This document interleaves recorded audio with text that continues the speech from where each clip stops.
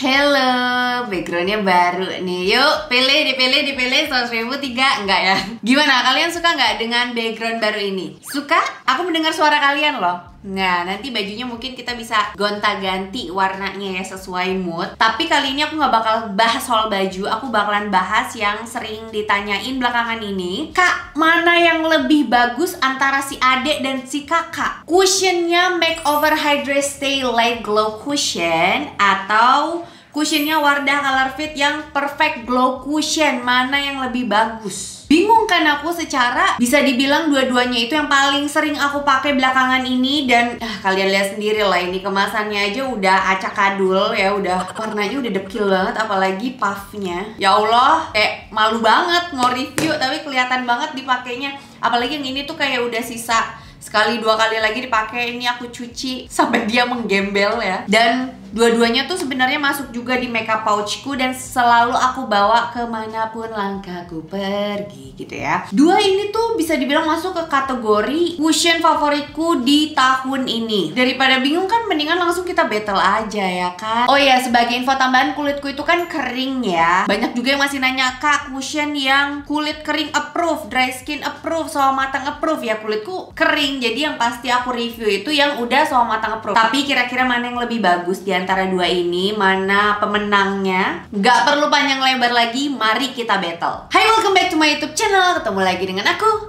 Riri Prox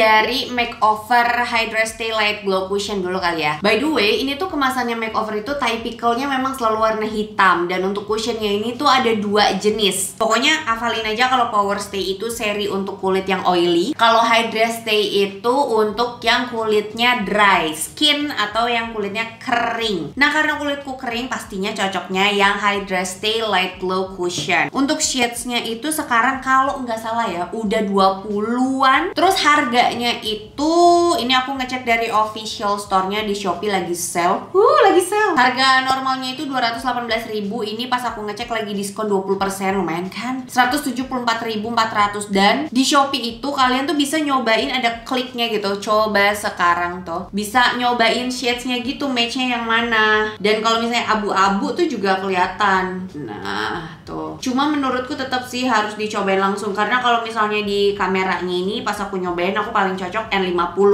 tapi padahal in real life yang paling match di aku adalah N40 N40 coba aku cobain dulu ya. N40 Oh lagi sold out say. Oh enggak masih ada. Mohon maaf. N40 sen. Stoknya masih 800 huh, Buruan dibeli. Light Glow Cushion ini katanya Hydrating Cushion. Benar. Didesain khusus untuk yang kulitnya kering Sampai normal. Buat ngasih intens 24 jam efek hidrasi. Tapi siapa juga yang mau pakai make up 24 jam ya kan? Kecuali mungkin yang party people gitu ya, di buat tidur. With medium to high coverage, it consists it perfect fit shade itu dulu, sekarang udah 20. That seamlessly blends into various skin tones while blurring skin pores, bisa ngasih efek yang halus mulus gitu, bisa ngeratain warna kulit yang belang tentu ya itulah fungsinya pakai complexion gitu. Dengan hasil yang seamless smooth healthy glow finish. Healthy glow finish yang berarti dewy finish atau semi matte finish biasanya. Ya lebih ke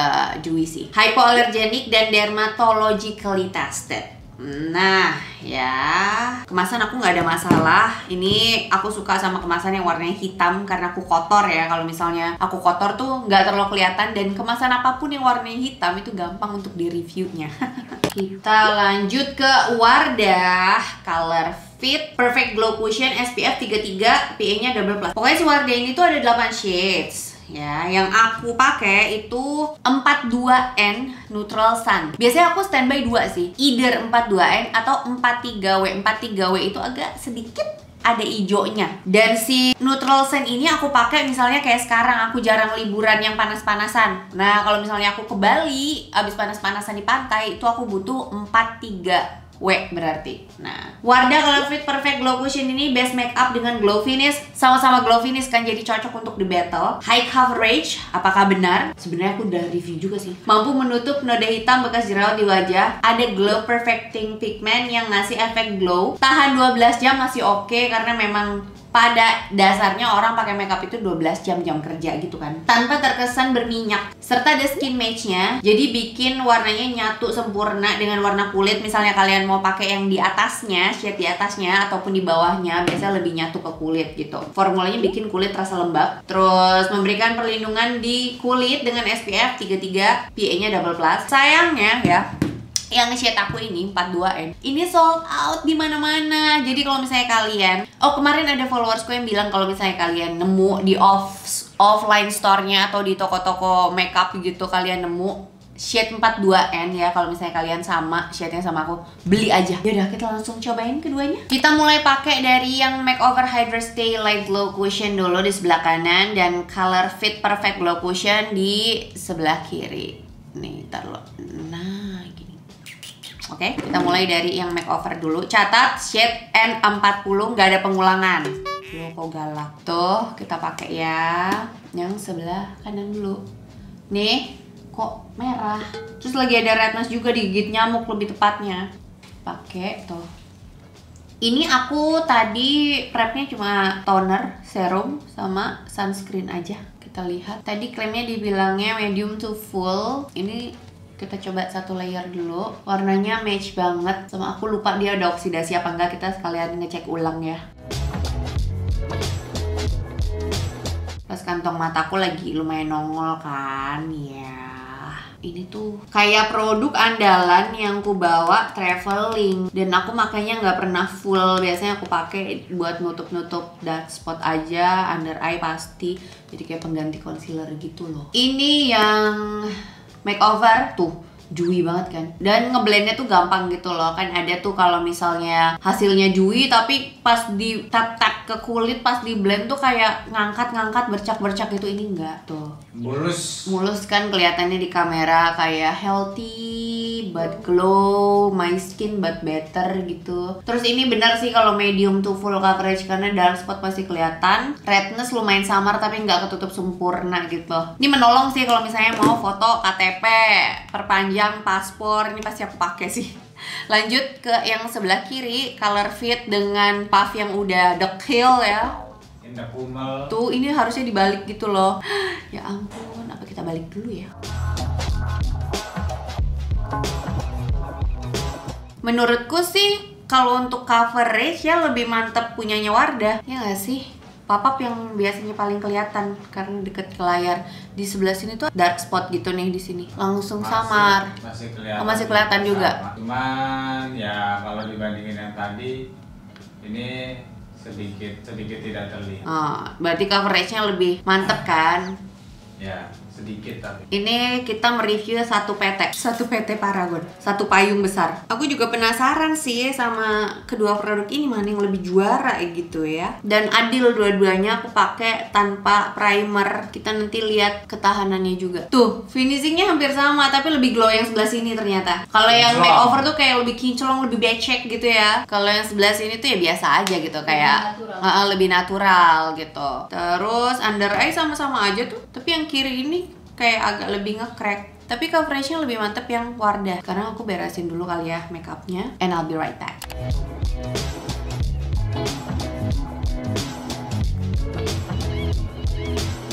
Idi, idi, idi makeupnya kebablasan. Ini ya tutorial makeupnya bakalan tayang minggu depan. Sekarang aku bakalan nge-review, ya ada ginjal lagi. Ah, kita kembali ngecek ketahanan cushion yang udah aku pakai kurang lebih mungkin dua setengah jam tiga jam udah langsung kelihatan sih ini ketahanannya gimana. Sudah setengah tujuh uh, ayo kita review yang sebelah kanan. Masih inget kan tadi makeover Hydra Stay? Yang sebelah kiri color fit tuh ya. Yang sebelah kanan dulu.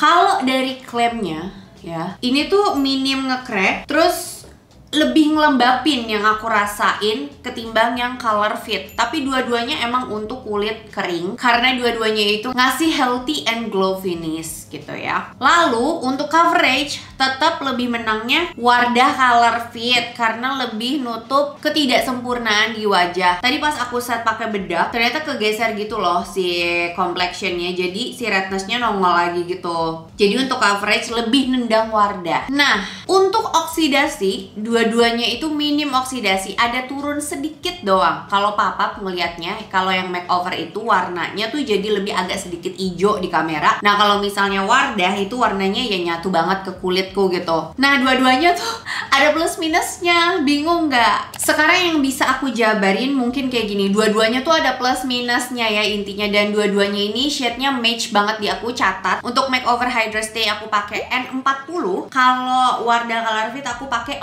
42N, sama-sama N karena undertone itu neutral. Dan aku udah pernah bahas di video reviewnya makeover Hydra Stay Cushion untuk cara nentuin undertone gimana itu udah lengkap lah aku bahas di situ. Nah, intinya kalau misalnya kalian nyari yang lebih ngelembapin kulit, yang lebih tahan lama dan minim ngekrek, mungkin kalian bisa nyobain makeover Hydra Stay yang bisa lebih ngelembapin kulit di kulitku yang kering gitu karena minim ngekrek. Tapi kalau misalnya kalian pengen yang covernya lebih nampol, kalian bisa pakai Wardah Color Fit. Nah, bingung nggak? Kalau misalnya kalian ada budget lebih, ya beli dua-duanya aja, ya nggak?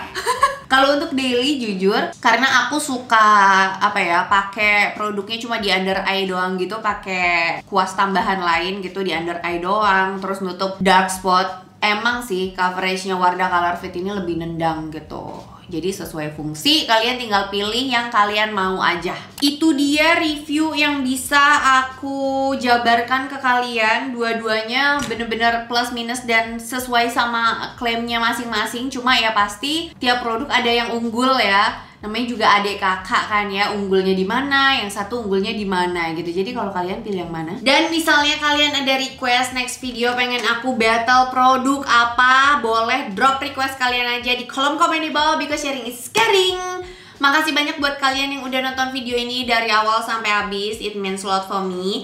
Jangan lupa buat tinggalin jejak dengan klik like dan subscribe channel YouTube aku. Udah. Terus jangan lupa juga untuk aktifin bell notifikasi kalian supaya kalian jadi Jamet Squad aku yang pertama tahu kalau misalnya ada video baru yang diupload di channel YouTube ini.